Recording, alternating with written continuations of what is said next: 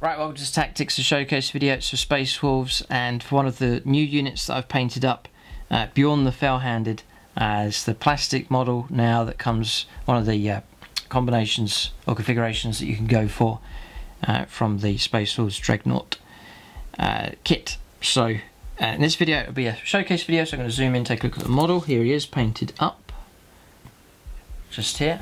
Very happy with how he's come out, and then uh, we'll also look at the tactics uh, for him, upgrades and so on, uh, options to take uh, for Bjorn the, uh, the Fell-Handed, how to use them in games and try and get the most out of this unit. But we'll zoom in here first of all, take a look at the model and sort of show you a bit of conversion work's taken place on here. Um, so I'll explain that as we take a look. Right, so there he is, really happy with how he's come out. Uh, most of my army for the Space Wolves has been painted on commission by Siege Studios, uh, but I've painted this one myself here, just trying to match in what's already been painted for the rest of the army. Just using my urban basing tutorial uh, there for the base, just copying the same as you see in that video, and then uh, happy with how this model's been painted up. I hope to do future painting tutorials for the Space Wolves uh, later on, just to show you how I've painted this one up just here. So I'm happy with how the claws come out. That's quite, quite looking quite good. And the basing and so on. It's an amazing plastic kit. This whole ornate. You just sort of build uh, the Bjorn the Fell-Handed option, and you get all this ornate gold work here on the front. Looks absolutely superb. So for the las, the twin las cannon, you don't get that in the kit. You get the other options that you can take from the codex, but not the twin las cannon. So um, you remember how I've done this here. This is this is made up uh, of the the arm that you get in the Space Wolves kit. I think it's for the multi melter. I then cut that multi melter option off back to there, and that just left me with the arm.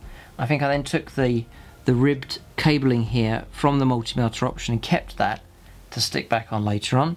And then these two las cannons I think are from. They're in my Space Marines bits box and I think they're options that come from the Storm Talon gunship kit for Space Marines.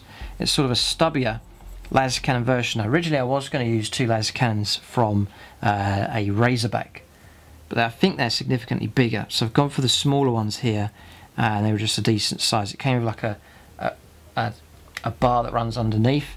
So on the bottom one I kept the bar, and on the other one I cut it off, and then just made a small plastic little joiner in between just to separate these two uh, barrels just to make them line up straight. Uh, I then chopped them up and lined them up, stuck them on like so and I think you could hardly tell that's been um, chopped and put together and then re-glued, cleaned up and connected this cabling to there just to make it look more electrical looking, you know, laser technology just there. So it's not strictly 100% how twin laser cannons should look, but I don't think it's really noticeable. I think I'm quite happy with how that's come out. But you don't seem to get that option in the kit, so I've had to sort of customize it myself. I didn't want to look didn't want to look up a separate arm by you know to go into the hassle of searching for a, a dreadnought arm with a twin laser cannon, and it also means I've managed to keep the Space Wolves uh, design work here on the side as well because I've used the original uh, part of the uh, arm for the dreadnought there as well. So that goes on there happy enough. Uh, really happy how it's come out. And then I've actually started to use the Munitorum varnish from Games Workshop, and that's how he's come out. I I rate it. I think it's superb.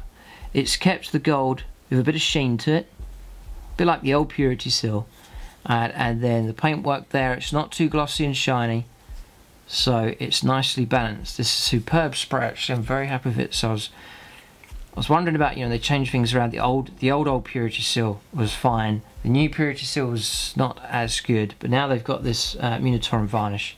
Fantastic stuff. So it looks like I'm going to be sticking with that. Very, very happy with the result, and it's great for to be able to get a varnish from Games Workshop that really is good. So very happy with how that varnish has come out. See, you can just see it here. It hasn't killed off the metallics. They're not all misty and murky. It's kept them with a nice sheen but it hasn't made the whole model glossy so very happy with the result from that varnish and that's um, just to say when, when you varnish it it comes out fast and in, a, in a, a, strong sort of a mist and it almost looks like you're not covering the model. So it's only short bursts, very light coat, uh, rotating the model around, and you think you've hardly covered it, but it has gone on and stuck on well. So don't over varnish. Uh, a mistake you can make. So it's just a very light dusting, but it still gives a good coverage. So there it is. I'll zoom out now. We'll take a look at the rules now for Bjorn. Fantastic model. It's great that Games Workshop have now given you a plastic version, really ornate and uh, superb looking. So we'll take a look now in the rules uh, for this unit. Because you know, previously it was a lead model, a bit old, and if Games Workshop had have stuck with that, I probably wouldn't have gone for this unit. But because he's in plastic, and they've done such a good job, uh, and the rules are really good, then um, that swayed my decision and it's it's fitting in nicely this the newer theme I've gone for the Space Wolves. I mean that's to to have uh, character dreadnoughts as my central part of the army and the ones to dish out the heavier damage and then to have other units acting as a screen. So Bjorn fits in absolutely perfect with that. So here he is. He is expensive. You're going to be paying a lot of points this guy. So he's the unit to protect and use as wisely and as carefully as possible. Because if you lose him, it's going to cost you over 200 points. Here, so Bjorn the Fell-Handed, he is an HQ. Uh, he's got less than 10 wounds, so he's going to be nicely hidden as a character, usually. Um, so that's a superb asset to have at this Dreadnought, which is usually quite vulnerable because his character is going to be hidden. Uh, can be hidden behind your other screen units. Bjorn the Fell-Handed, uh, 180 points to start off with. And no points reductions there for chapter approved. He's uh, movement 8, so he's quick enough as a Dreadnought here. He's uh, quicker than a Space Marine can, can walk for sure. 8 inch move is as fast as a Harlequin goes. Weapon skill 2 plus, ballistic skill 2 plus as well. So I, want to make, that's why I've gone for the double las cannon. I want to make use of his superb weapon skill but also his superb ballistic skill also. Strength 7, and uh, his toughness 8. For a Dreadnought, he's pretty, pretty good. He's got 8 wounds, 5 attacks, which is a superb baseline of attacks. Got leadership 9 and a 3 plus save. He's armed with True Claw, which I believe costs nothing. It's in the cost yet, 0. And, and then, so you can go for a cheaper version of him if you want to go for a cheaper, cheaper uh, option on the other arm. Uh, he's got a heavy flamer and assault cannon. Now if you add those two up, uh, heavy flamer, you pay 14 points, and then uh, assault cannon, which is uh, 20, oh, 22 points. Yeah, oh, it's expensive. So it's all right, but the, the heavy flamer, it's, you're to get to use it perhaps for a third of the battle once you close the range and you get close. on dreadnoughts, I don't think they're that great, yeah, and it just but it just bumps up the cost of your model. So I prefer it wasn't there, uh, but yeah, to save points and spend them somewhere else. But that's what he comes with. Um, you can only take one model per army. I'll cover the stats for the true claw and so on in just a moment. Bjorn the Fell-Handed may replace his assault cannon, so he still keeps the heavy flamer. He's always going to take this heavy flamer. Uh, he, he, may replace his assault cannon with a Hellfrost cannon. That was an option that I considered, and it comes in the kit. Uh, Hellfrost cannon. It's more of a general all-round weapon. It's 25 points. And just to compare, your twin las cannon Let's drop now, it should be 40. Yeah, it's marked it here, so it's 40 points. So you're going to pay an extra 15 points for this twin las cannon. So the Hellfrost cannon. It is here, yeah. So you can go for, uh, if, if models if the model suffers any unsaved wounds from this weapon but it's not slain, roll d6. On a 6, its target suffers a mortal wound. There's a slight chance it causes a little bit extra damage. You can go for a dispersed beam. Range 24, so the range isn't that great on this.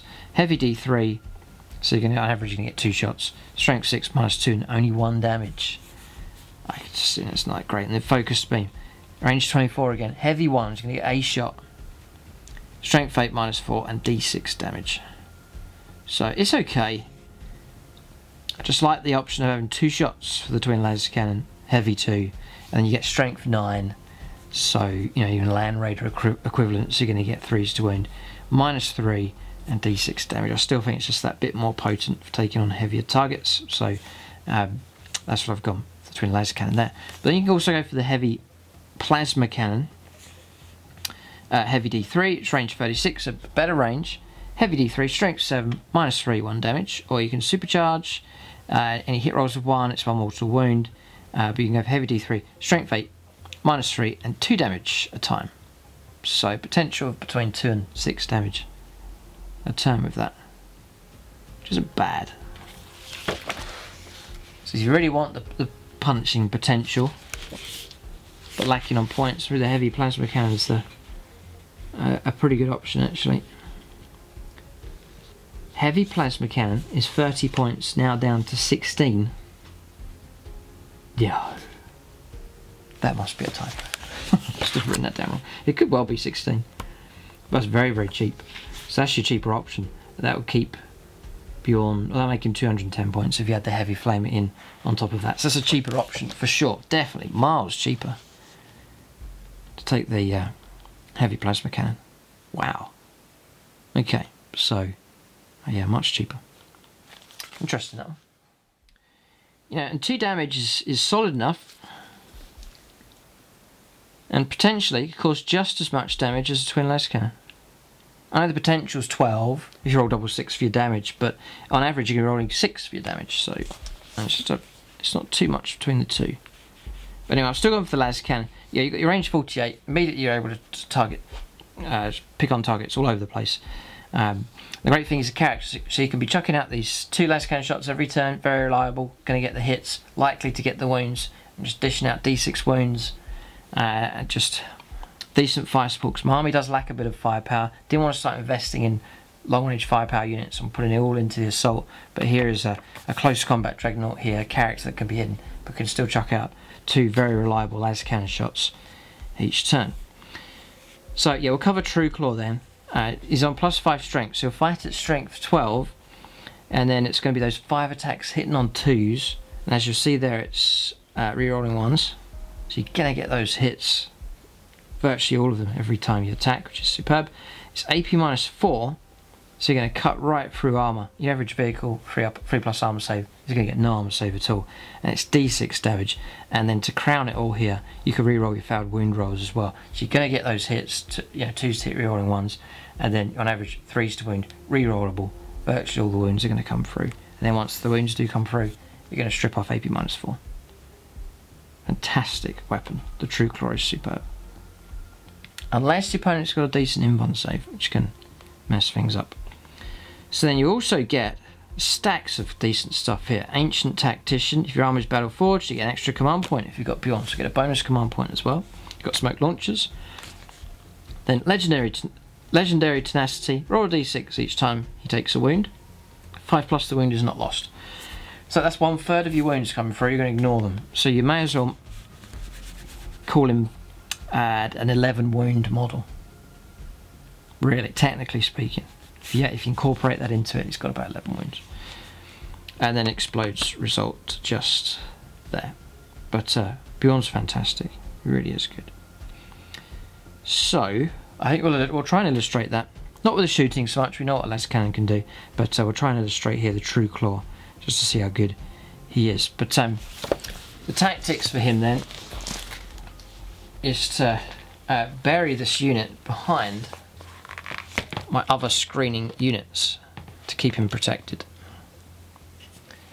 So I have other units nearby and they act at the front of the army and then Bjorn follows up behind firing as he goes and then the opponent has to fire at the front screen before they can get through to the character. Basic tactic of 40k works really well and my Space Wolves army is going to pivot on that to try and preserve him, keep him alive. And he's got a use, he's not just lumbering around with a claw doing nothing. He's got decent firepower he can be using each turn.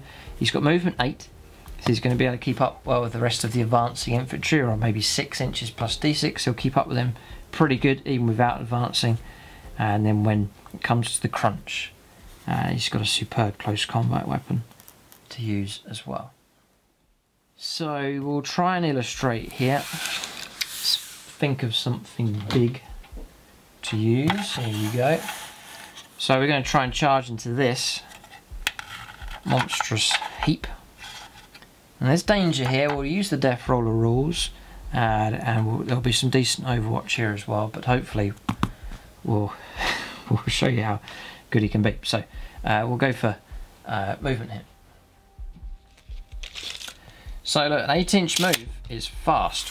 There it goes. 8 inches is quick. So then he goes, nice uh, and quick there. So one, one tactic you can use is charge another unit in to absorb the overwatch and then move your character in. Because uh, I've got no tech marines in my list, so I don't want to take wins if if it's avoidable. So charging another unit in of some kind, um, you know, even like a unit of these, which I've just painted up, unit of these expendable dogs. charge these in first, uh, and then they can absorb the overwatch, lose a few models. They go in, and then he's able to charge them without any harassment from Overwatch. So it just gives you an idea. That's it. That's the doggies just there. So um, we'll, we'll, absorb the Overwatch. We'll say we've got some Overwatch to take. So I actually have nine big shooter shots, lean sixes, and a bit of extra Dakka, which miss. Five to wind, nothing. And then the only other weapon he's got here is uh, the uh, kill cannon on top, which is d6 shots, two shots, then sixes, nothing. Alright, survive this time. And then we go on a double one, which is still, because of his movement, still going to put him into close combat. So here we go, watch this. Five attacks, twos to hit, re-rolling ones, got the hits, uh, strength uh, 7, plus 5, strength 12, toughness 8, threes to win. Ah, they've all winded. 8 minus 4 bypasses the armour, and all of a sudden you've got 5d6 damage. Which I wonder if that's going to do that actually. Yeah. Uh, just adding this up here. Close. I think it's bang on 16 here. Yeah, it is. Yeah, 5, 5 is 10, 16. Exactly what needed. Just about. Then you've got command reroll on standby. It's a pretty poor result, but 5d6 has actually done it. So. I don't know what to say. Just there's not much out there that will bring one of these down uh, very swiftly in one round of close combat. We'll try. We'll try him again. So in he goes. It's just the reliability of it. That's the, great thing. Um, so we'll do a bit of Overwatch it. Sixes, extra shots, which hits. Fives to end, no wounds. This is the big, big gun here kill cannon. Then sixes, no, nothing. So then he goes uh, 10 this time. Five attacks. Triple one. God, rerollable. Four make it through this time, so they struggle. Three's to end.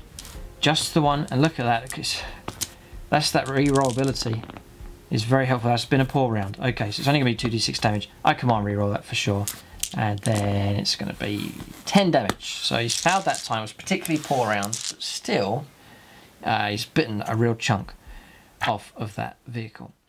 Fight back with Death Roller hit. Twos for hits. Threes for wounds. Uh, fives for saves. Save one. Four damage. And then fives or sixes to ignore. Ignore two. Very, very useful. Two wounds taken. Six remain, so he's still in a healthy, a healthy state. And even if the Orcs get to fight again next time around on their turn, uh, he should survive okay. Well, maybe go on to the next round here. We'll just finish off this. I don't want to leave this unresolved. So say the Orcs get to fight now. Twos to hit. Uh-oh. Threes to wound. that's the wounds that come through. I think there's actually trouble here. Five to... Oof, two saves. Four damage fives and sixes to ignore, ignore none. So uh, another lot of wounds coming through. But he's still alive on eight wounds. He's got two left. So again, twos, all hit, threes, re-rollable, all wounded, 5d6 damage, and all of a sudden that's 12, 16. So he's killed a, a, like equivalent of a fresh one of those. So I hope that's given you illustration there of the damage potential this guy has. It can be terrifying. Another great option is for taking on multiple wound heavy infantry. We'll charge in here and try and illustrate this for you. So uh, custom custom shooters, we'll let them fire a bit of Overwatch first of all. So sixes, it's two, that's it. Five swoons, nothing. Like so. Okay, so five attacks, two's to hit, re-rollable. They've all hit. Uh, well, this is going to be twos to end, re-rollable. Absolutely superb. 8 minus 4, so 2 up save becomes a 6 up save. So 6 is to try and block. Has block 1. First damage is a 6, that's going to be a uh, complete kill. Next one is a 2. Uh, you can command re-roll that, or say it just rolls over onto the next guy, in which case it will take absorb the next one. So he's gone. And then the last one is a 1. Again, command re-roll, re-rollable potential there. I'll say I do command re-roll that get a 4. Imagine I would in that situation. That just leaves one to fight. Uh, but the potential is there just to, to wipe out the entire unit. Again, if there's not much of an invuln save, his weapon is even more uh, effective, just letting more and more wounds come through. You can imagine how uh, good he would be against characters, and again, if they have a, a, a poor invuln save or no invuln save at all, the ability to chuck out tons of wounds um, is terrifying. Tyranid monstrous creatures, big trouble against this guy. Wade is wave through after wait, one Carnifex or Trygon after the next, no problem at all. So that gives you an idea, I think, of the close combat potential of him when he needs to, because you can hide him behind your screen and just ha have him as a mobile gun platform, granting reroll one star units nearby. And just as the timing's right, then you can unleash him, and he's got a superb close combat ability potential as well. Exciting unit, I think, to add into this new Space Wolves list for sure. But anyway, that's Bjorn the Fell-Handed. As I said at the start, amazing model, superb option to take from the, the Dreadnought uh, option there for the Space Wolves. Uh, really happy with how he's been painted up. So uh, if you want to keep up to date with my uh, projects as I paint them, then check out Instagram. Follow uh, Striking Scorpion 82 on Instagram, and that will give you all the updates. I take pictures of, of battle reports as we go along so you get some exclusive photographs and then whatever comes freshly off the painting desk, if you want to see what's you know on its way to the channel, uh, then I take uh, nice pictures of different models as I go along just to show you what's freshly painted up. Gives you a chance to see the model zoom in and, and so on, to see the progress of the different factions. And it's also a great way to keep uh, updated with new video releases. The main videos that come out on both the Plus channel and on the regular channel here on YouTube, uh, I post those onto Instagram as well. So uh, it's a very useful platform indeed. So the next step for the Space Wolves, keep a lookout for the entire army uh, overview and tactical. I'll combine all the units together, we'll run through all of the lists and the points and the tactics and you'll see the whole army and that means they're ready for war, fully updated and then you can keep a lookout for uh, battle reports for the Space Wolves on both the channels. Uh, there is a new one on the Plus channel featuring the new units, including him. He gets to fight, and it is against the Orcs. and and and then in the future, more games we hope with the Space Wolves against a whole variety of different armies. We hopefully look forward to the day when we can do Thousand Suns versus Space Wolves, and I think we'll have to do a double episode of that. I reckon. So plenty uh, to be excited about for the Space Wolves in the future, and uh, hopefully a, a painting tutorial or, or two for them uh, in the future as well. But there it is. That's uh, Tactics of Showcase here for Bjorn the Fell-Handed. Thanks for watching, and tune in next time.